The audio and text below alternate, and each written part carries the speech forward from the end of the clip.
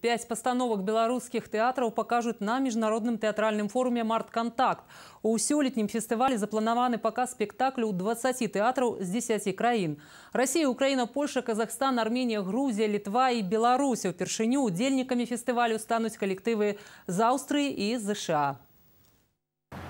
Афіша март-кантакта сёлета вельмі разнастайная. Арганізатары пастараліся ўключыць класіку, напрыклад, браты Карамазавы можна ўбачыць у розных прачытаннях.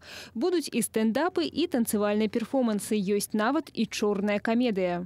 Мы не можем включить в программу да, все, что хотелось бы включить, но то, что сегодня представляет интерес, скажем, как работают режиссеры кукольных театров, да, которые соединяет э, куклу с живым э, планом. Я думаю, что тоже будет интересно посмотреть э, экспериментальные спектакли, которые из Минска будут в нашем театре. Один из представников минулый пераможца и яркий претендент сёлетняга форуму Могилевский областный театр «Лялек».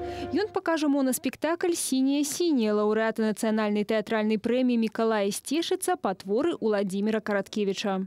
Конечно, Короткевич это, это такой, это такой э, белорусский, э, такая а, Агата Кристи в мужском воплощении под белорусскими флагами.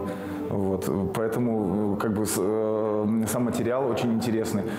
Очень приятно, что приезжает к нам, э, приезжает к нам, не брезгуя нами, э, э, столичные театры, такие как Белорусский театр, Республиканский театр белорусской драматургии под предводительством Александра Федоровича Горцуева. Мне лично очень интересно посмотреть э, спектакль «Саша, вынеси мусор» молодежного театра. Иван Трус у каманде гаспадароў трэба і падрыхтаваць прыём гасцей і самім годна выступіць. Дарэчы, Іван выконвае галоўную ролю ў спектаклі крэйцерава саната, які прадстаўляе на март-кантакце магілёўскі драматычны тэатр. І гэта роля прызнана лепшай мужчынскай у нацыянальным тэатральным конкурсе. Арганізатары з нецярплівасцю чакаюць работы сваіх калег, маўляў, і сябе паказаць і на іншых паглядзець.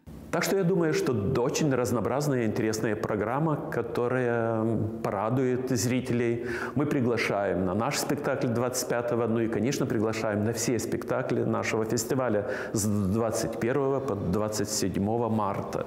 Алена Соловьева, Катерина Городницкая. Новины региона.